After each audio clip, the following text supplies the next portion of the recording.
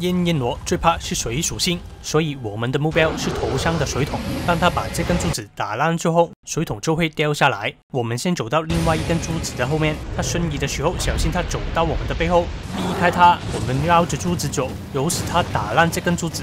小心他又瞬移过来，跑到柱子的后面，水桶里面的水就会淋到他的身上。我们尽可能在水属性还在的时候，多消耗他的精力值。他要打出火焰的时候，走到他的背后，砍他三刀，然后走开。龙卷风打过来的时候，我们小心走开就好咯。走回去，他又准备出大招，妖花打开，先砍他三刀，换成三段。砍他两刀，换回中段，多砍他两刀，走开。长安出来之后，记得要注意自己的精力值哦。走开，避开他的龙卷风。他的近距离攻击一般都可以在右前方避开他的攻击，砍他三刀。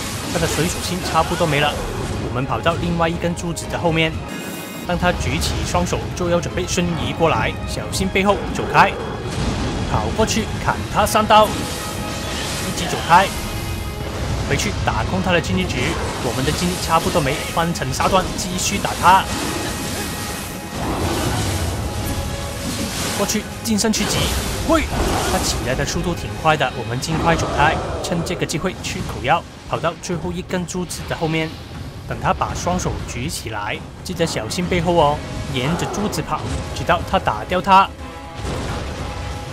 当他把火焰打出来的时候，我们要连着他继续砍他，分成三段，快速攻击打两下，换回中段。因为他的精力值没了，我们要追着他来打。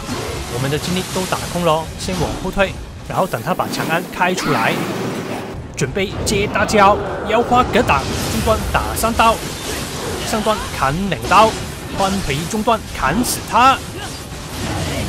记得订阅频道，阿秋会继续努力创作不同游戏的攻略。谢谢你们收看哦，拜拜。